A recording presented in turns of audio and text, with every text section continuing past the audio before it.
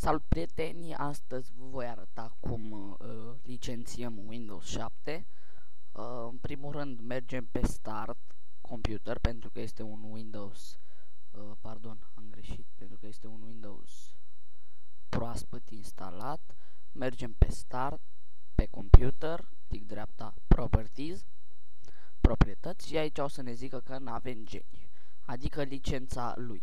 Uh, Windows are și el o licență, uh, dar dacă nu avem acea licență, unele programe nu vor funcționa, de exemplu antivirusul Microsecurity Essentials. Dacă vreți să-i fac tutorial, am scris pe rubrica de comentarii. Noi o să mergem să licențiem, o să vă pun un link la download de desubtul tutorialului cu un loader sau loader, cum vreți să-i spuneți. Mergem pe regular download.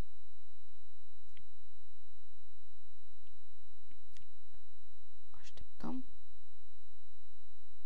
dăm save, este arhivat, nu să trebuiască să-l dezarhivăm pe desktop și așteptăm să-i downloadeze. Uh, voi instalați driverele, nu instalați nimic decât drivere și uh, sunet. Drivere, tot drivere sunt, doar atât, nu jocuri, nu altceva. Uh, acesta este, dăm click dreapta, extract all, lăsăm pe desktop, debifăm show extracted files when complete, extract și așteptăm să ne extragă fișierele și o să vă zic ce este de făcut.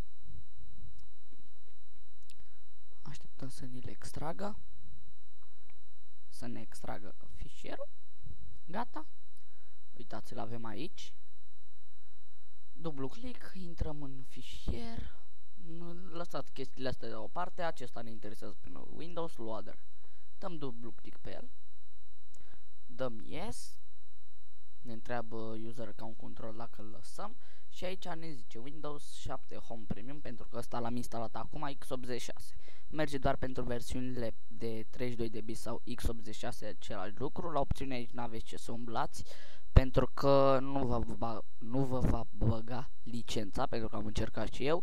Merg pen, merge pentru versiunile uh, Windows uh, 7 uh, Home Premium, Ultimate și uh, Enterprise. Nu știu dacă merge și pe Starter, n-am încercat. Dar voi da, noi dăm install acum, ok. Așteptăm să ne instaleze. O să dureze, uh, nu o să dureze chiar atât de mult dacă aveți un calculator mai performant. Și așteptăm. O să ne, o să ne apară un dialog în uh, care va scrie dacă vrem să-i dăm restart sau să închidem uh, PC-ul.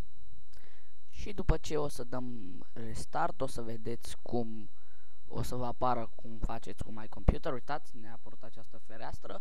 Voi puteți să-i dați close, dar vă sfătuiesc să-i dați restart. Și după aceea intrați pe My Computer, click dreapta, proprietăți și vă va apărea aici că Windows-ul este licențiat. Uh, cam atât a fost pentru astăzi, vă va apărea, pardon, vă va apărea aici uh, geniu, nu știu cum, tralala și aici va scrie că uh, Windows is license sau ceva gen. Uh, cam atât a fost pentru astăzi, vă mulțumesc că ați fost alături de mine, eu am fost Ionuț, la revedere!